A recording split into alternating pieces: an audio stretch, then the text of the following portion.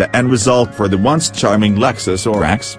Is a third line of seats a selling out of what the RX has been and ought to be? Or then again is the exemplification of what it generally was bound to turn into? Such are the epistemological predicaments that emerge with the entry of the 2018 Lexus RX 350L. The first RX 300 showed up as a 1999 model and changed the world with its cuddly blend of SUV-ish utility and a rich, Toyota Camry-determined V6 drivetrain.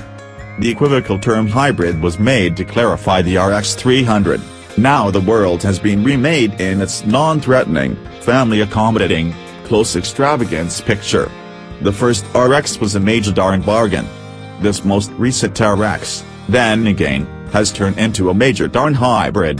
The last first-gen RX 300 we tried, an all-wheel drive 2001 model, was 180.1 inches in length, had a 103.1-inch wheelbase, and weighed 4,023 pounds. The new RX 350L tried here, a front driver, extends 196.9 crawls from stem to stern, sits with on leg on each side of a 109.8-inch wheelbase, and weighed 4,487 pounds as per our scales. By Lexus numbers, the all-wheel drive form measures an extra 155 pounds. That 196.9-inch general length is 0.7 inch longer than an Acura MDX, yet the Acura rides on a 0.2 inch longer wheelbase.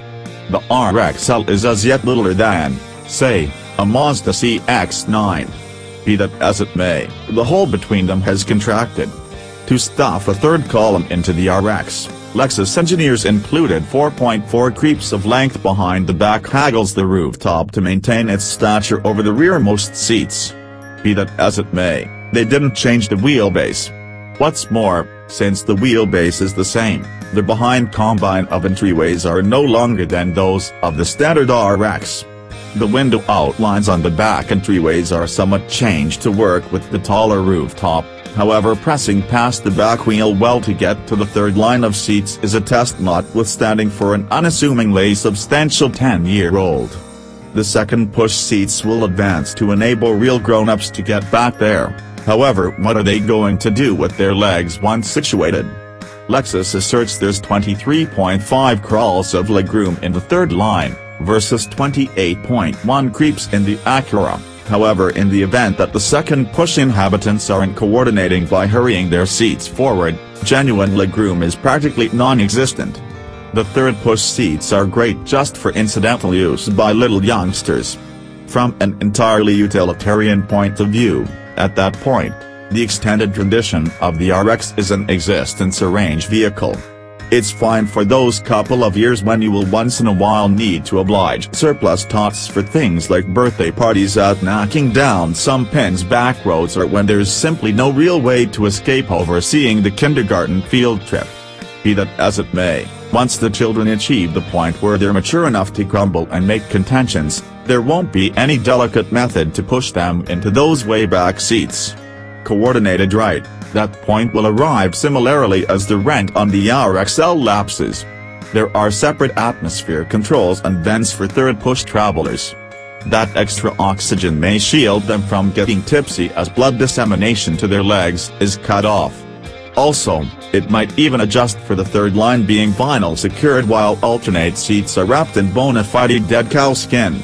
With a third line up, there's just 7 cubic feet of payload space accessible, a measly single solid shape for every one of the 7 individuals who can hypothetically be on board and 8 3D squares not as much as what's behind the MDX's third line. That at the top of the priority list, there is 23 cubic feet back there with the third line collapsed, and that is up from 18 in the 2-push RX.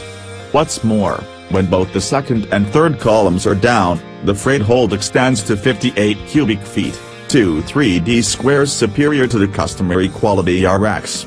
2 cubic feet ain't much, yet it might be sufficiently only to press in one more toy poodle. In case you're into toy poodles, that might be basic. The mechanical substance of the RX 350L scarcely contrasts from that of the general RX 350.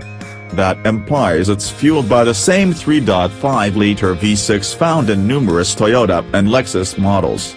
Someplace, possibly in the marginally longer fumes framework, 5-pole was lost, what is a 295 horsepower V6 in the RX 350 turns into a 290 horsepower V6 in the RX 350L. In case you're intending to go racing in your new RX, stay with the 2-push variant. Front-wheel drive is standard on the RX 350L, while all-wheel drive is a $1,400 alternative. There's a